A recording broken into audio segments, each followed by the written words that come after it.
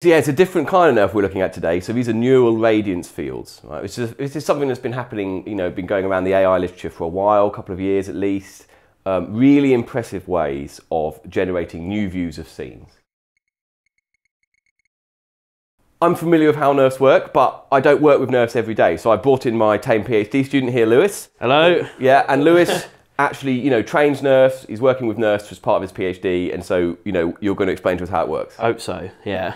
what they do is they take a series of uh, RGB images, and from those RGB images of a scene, they're able to reconstruct it in 3D using a neural network.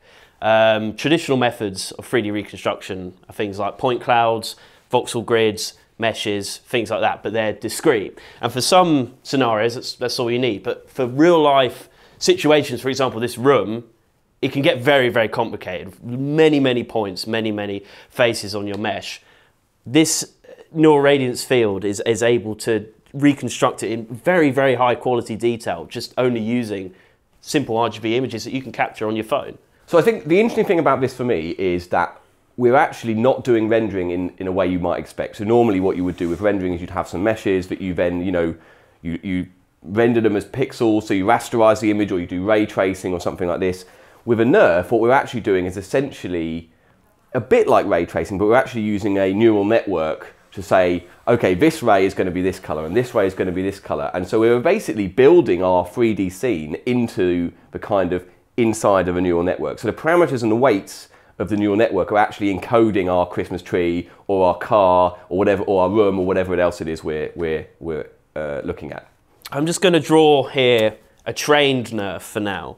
So imagine we're looking at this from a side angle. So we have something like this. And for the sake of this video, as you will see later, I'm going to draw you a nice Christmas tree. Um, I hope you're better at drawing than me. Uh, not a chance. That's actually a lot better than me. Okay, and you know, I'll just shade it in green. So, yeah, there you go. So, and let's imagine that we have a camera up here.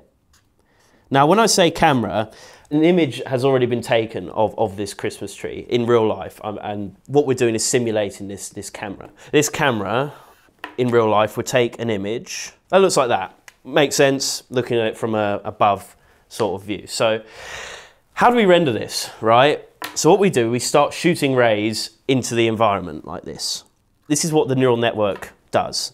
So unlike things like diffusion, which basically generate noise, isn't it? it? likes the same diffusion and things like Yeah, yeah, stuff like that, frogs on stilts and stuff like that, yeah.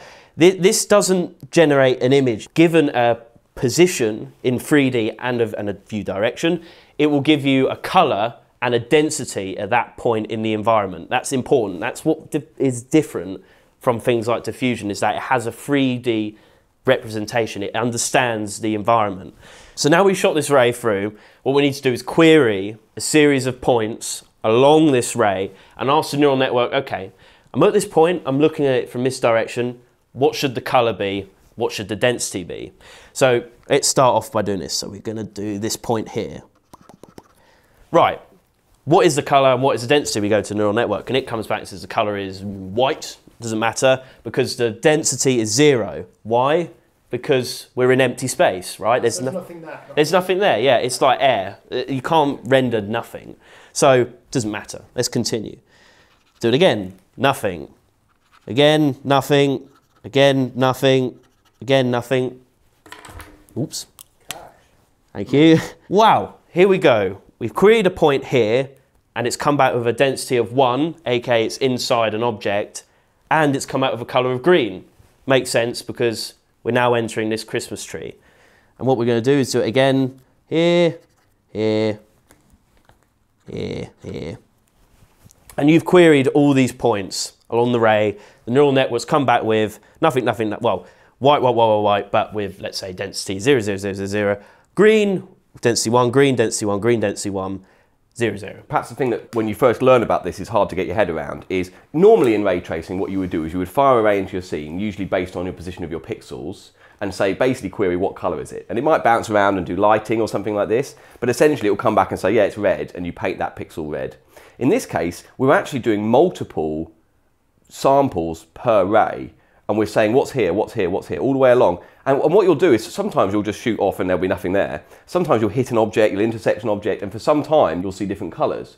And so your rendering process is going to be about sending out a lot of these rays and finding out where in 3D everything is, right? Mm-hmm. As opposed to just sending out a ray and going, oh, it's red. Yeah.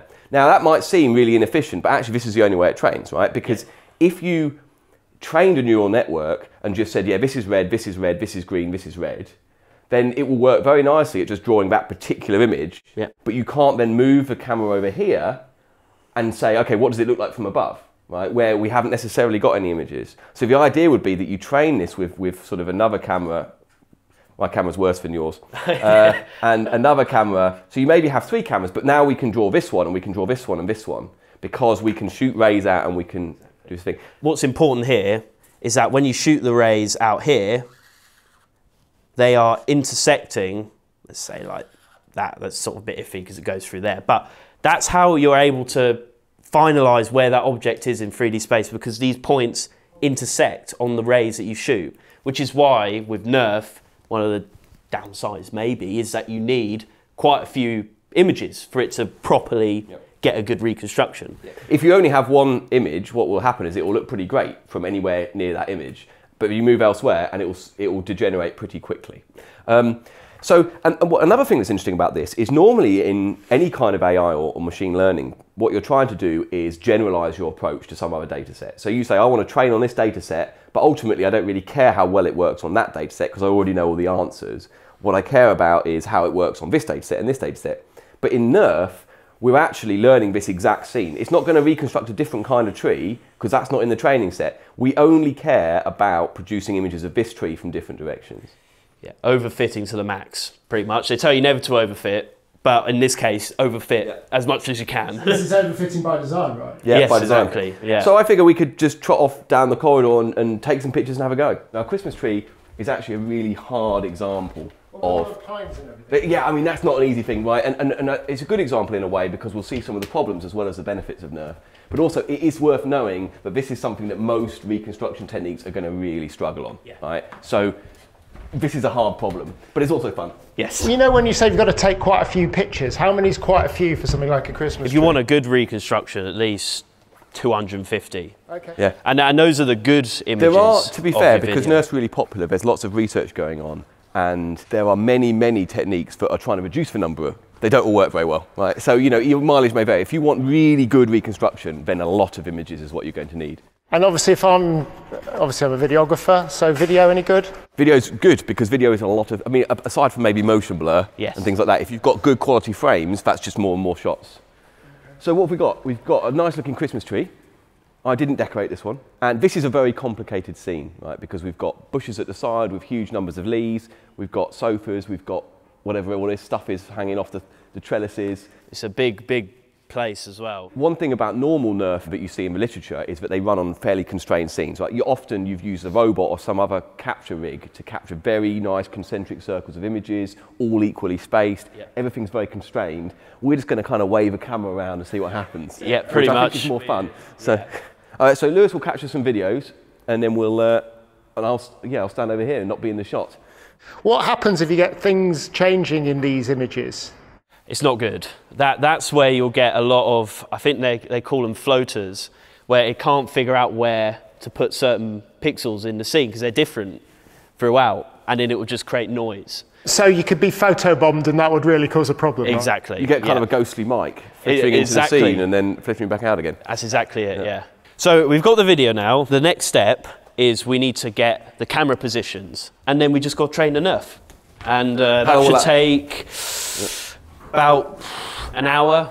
I've trained up this nerf, and currently we're, we're viewing it. For this, I'm using Nerfstudio, which is what a lot of people are using now because it's very user friendly and it's very, very good. And this is the sort of thing that it looks like. So you can see all of the images and where they are in 3D space.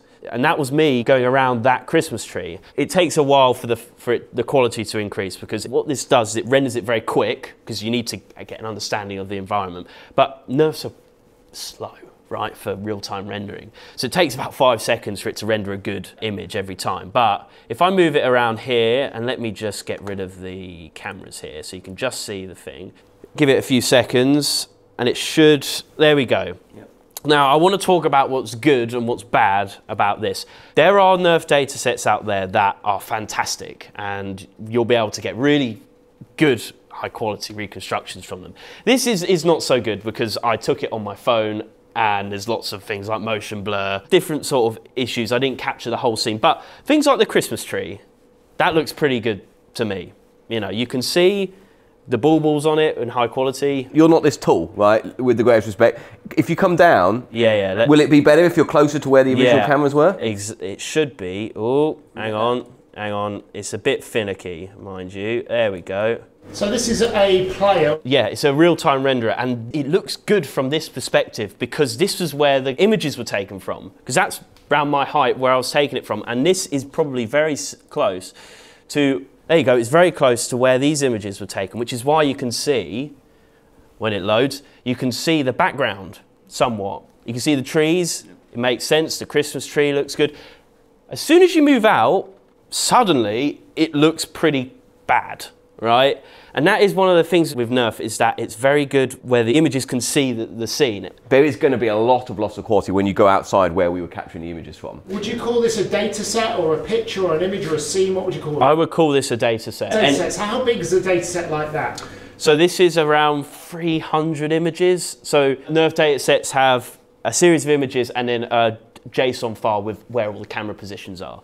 That's, that's it. But this is about 300, but they're all relatively, if you see here, they're all pretty close together, right? If you want a, a really good capture, really good scene, you want them spaced far apart, capturing the entire thing. I'm not Mr. Fantastic with long arms. I can only capture things around here, right? Which is why when you go and look, let's say over here in the background, you'll see that the background here, especially on the ceiling, it's really not very good because not a lot of data was captured in these images of the background. So that's why it's not as good. You see that here, this is just noise. And the reason why that is just noise, because I didn't actually capture any of that floor when I was capturing the video, I just forgot. Which is why when, when you look at it from here, it looks awful. But that's not really the fault of the Nerf per se, that's more the fault of me. Perhaps it's worth thinking about what we would actually use this for, because ultimately people might be looking at this and going, well, it's not as good as a 3D render.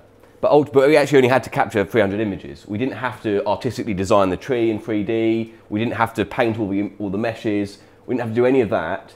Um, and, you know, I couldn't do that anyway because you've seen my drawing abilities. So, but the other thing is that it, we also, as well as the color, we can also extract where the objects are, which means that you can convert a lot of these objects into a mesh. So you can use this multi-view reconstruction to essentially obtain 3D volume. So you could then speed up your creation of an actual 3D asset that you could use in a game or something like this. Is this the future then of, re- of 3D rendering? Is this how it's all going to work? This month, possibly. Yeah, actually, there's a new rival to Nerf called Gaussian splatting, which is also providing incredibly impressive results. So maybe that's video number two. This network is maybe slightly better when it has the text uh, uh, uh, estimating the noise. So you actually put in two images of dystopian, abandoned, futuristic cities with overgrown plants, right? And then I just put them in a for loop and just produce 200 of them so I can pick the nice ones.